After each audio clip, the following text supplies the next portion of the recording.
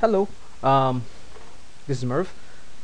Uh, in this video, I will show you um, how to uh, mount NFS share uh, export it on a Windows 2012 server uh, hosted on uh, Windows Azure um, uh, through NFS version 4.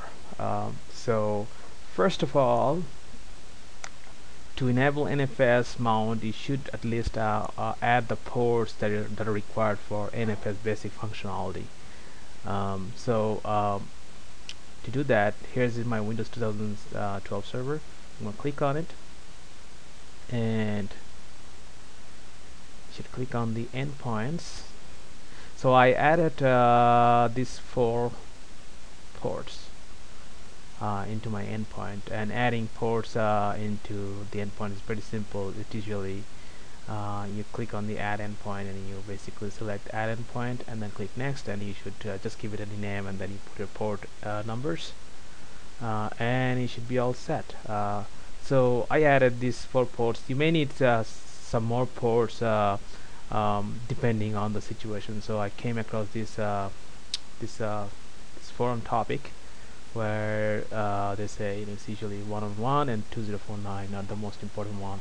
But you can add the other ports as well if you need to depending on your situation on the client environment but for me it is good enough to add these two ports uh, both TCP and UDP now I'm on Ubuntu uh, 12.10 desktop.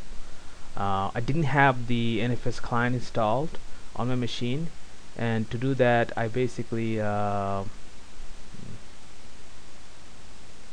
open a new window here.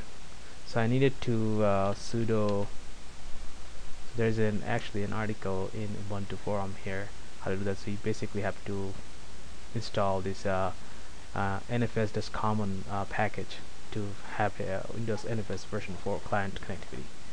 Um, Windows 2012 uses NFS 4 by default I don't know if they can use that uh, NFS version 3 but I had to use NFS version 4 in my case uh, so you install that uh, with sudo on your ubuntu um, which i did like you know like this. Then once you do that uh, you should have the nfs client installed. That means you should be good to mount. If you want to use Kerberos uh, with your NFS server settings I will show you where you can set it up. Uh, things get a little bit complicated in that case but more security. Um, uh, especially when you're hosting your file server on a public cloud uh, in, in this case. Um, so to do that it's the same page. Uh, there are some instruction here. NFS server with uh, Kerberos. NFS 4 client with Kerberos. So these are the commands that you can use uh, to connect to an NFS server with Kerberos in this case I'm not going to show any uh, Kerberos. Uh, I'm just going to give you a basic uh, functionality just to show